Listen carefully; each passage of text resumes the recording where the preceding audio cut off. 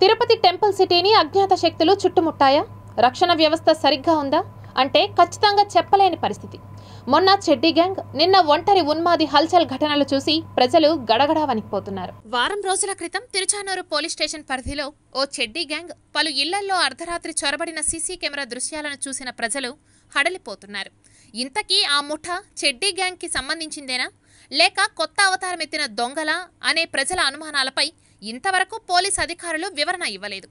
ఇదిలా ఉండగా రెండు రోజుల క్రితం తిరుపతిలోని ఎంఆర్పల్లి పిఎస్ పరిధిలో శ్రీనగర్ కాలనీలో ఓ సైకో అర్ధరాత్రి ఇనుపరాడ్డు పట్టుకొని హల్చల్ చేశాడు. అర్ధనగ్నంగా తిరుగుతూ నాలుగు ఇళ్ళ తలుపులు కిటికీలను బద్దలు కొట్టాడు. దీనికి సంబంధించిన ఫుటేజీ స్థానికంగా ఉన్న సీసీటీవీల్లో రికార్డ్ అయింది. దీంతో రంగంలోకి దిగిన పోలీసులు అతడి కోసం గాలిస్తున్నారు. అయితే ఆ ఉన్మాది ఆచూకీ కూడా ఇంకా తెలియడం లేదు. దీంతో తిరుపతిలో ఏం జరుగుతుందో తెలియక ప్రజలు భయభ్రాంతులకు గురవుతున్నారు. మొన్న తిరుచానూరులో చెడ్డీ గ్యాంగ్ నిన్న ఎంఆర్పల్లిలో ఒంటరి ఉన్మాది దాడుల్లో ఎలాంటి ప్రాణ నష్టం జరగలేదు కాబట్టి పోలీసులు పెద్దగా పట్టించుకోవడం లేదనే విమర్శలు వినిపిస్తున్నాయి.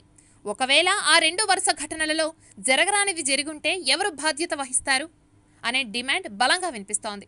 బ్రహ్మోత్సవాలు సమీపిస్తున్న తరుణంలో ఉన్న పోలీస్ సిబ్బంది బందోబస్తు విధులకు వెళితే తిరుపతి ప్రజల రక్షణ పరిస్థితి ఏంటి అని అనుమానం స్థానిక ప్రజలను తొలచివేస్తోంది.